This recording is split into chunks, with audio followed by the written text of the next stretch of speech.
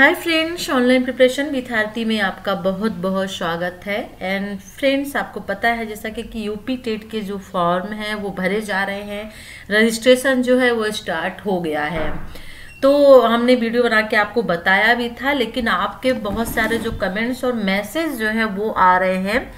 Message और comments जो है वो इन चीज़ों को लेकर के है कि जिन लोगों ने नाइएस से डिलीट किया है, क्या वो लोग ये फॉर्म भर सकते हैं या नहीं भर सकते हैं? देखिए ऑलरेडी मैंने एक वीडियो बनाया था और आपको बताया था कि आप लोग वैलिड हैं या नहीं है। जिन लोगों ने एन आई से डिलीट किया है, वो लोग वैलिड है या नहीं है, ठीक है? तो देखिए, यहाँ पे चलिए इस बात को क्लियर करते हैं और आपको हम बताते हैं कि आप लोग वैलिड हैं फॉर्म भर सकते हैं नहीं भर सकते हैं। लेकिन उसके पहले यदि आपने चैनल को सब्सक्राइब नहीं किया, सब्सक्राइब कर लीजिए, वीडियो को लाइक कर दीजिए एंड शेयर करिए। तो देखिए, सबसे पहली बात यहाँ पे आ रही है आपके वैलिड यानी मान्यता को लेकर के।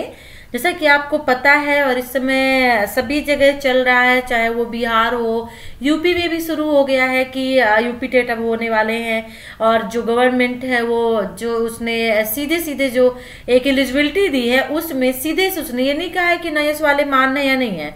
सीधी सी बात उसने उसमें जो एलिजिबिलिटी है, वो रख दी है कि जिन लोगों ने एन e के माध्यम से, ठीक है ना, या फिर दो साल का कोर्स किया है एन के माध्यम से या फिर अदर इंस्टीट्यूट से भी किया है तो दो साल का कोर्स किया हो, वो एलिजिबल है।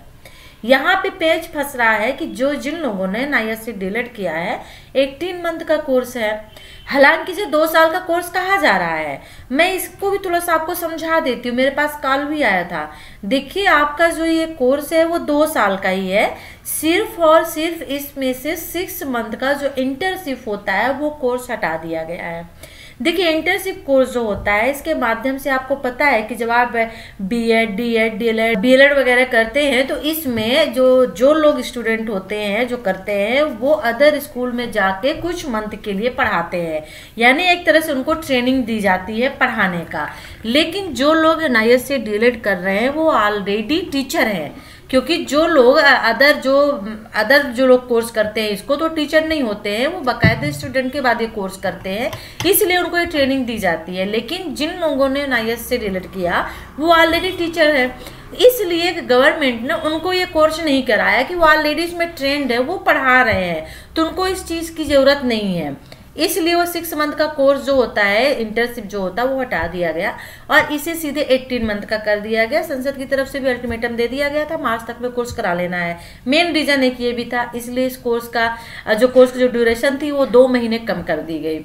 अब यहाँ पे एनसीटी जो एक रूल होता है कि एनसीटी के, जो है, वो किसी भी एग्ज़ाम के लिए एलिजिबिलिटी दो साल की ही रखती है।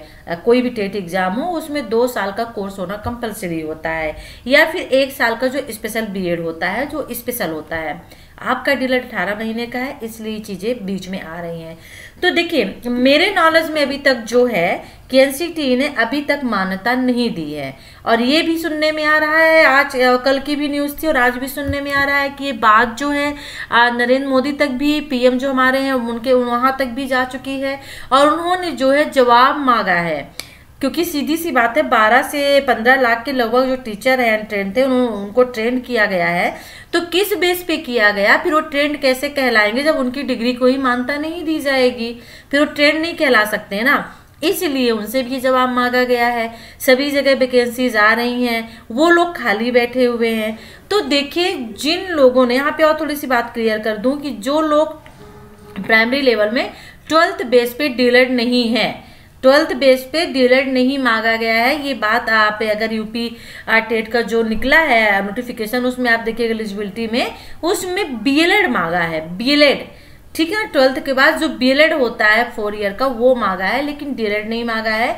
तो प्राइमरी के लिए तो आप एलिजिबल हो ही नहीं सकते हैं। हाँ जिन लोगों ने, जिनका ग्रेजुएशन कंप्लीट हो चुका है और वो डीएलएड जिन्होंने किया है एनआईएस से, वो एलिजिबल हो सकते हैं तब किस कंडीशन में? उस कंडीशन में जब ये दो साल के लिए मान्यता इसको मिल जाए।